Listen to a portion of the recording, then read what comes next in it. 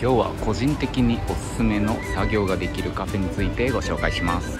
それがこの八線角の横にあるカフェ音見で入り口には石化した犬がいます。能力者の力でしょうか。とりあえずメニューが色々とあるのですが一番安いので200円のコーヒーで利用することができます。今回私は L サイズのアイスコーヒーを頼みました。座る場所はカウンターみたいなところとか作業用の机。それからこんな感じでソファーに座って作業することもできます。ちなみに夜はお酒も飲めるようですよ。是非ともいかがでしょうか？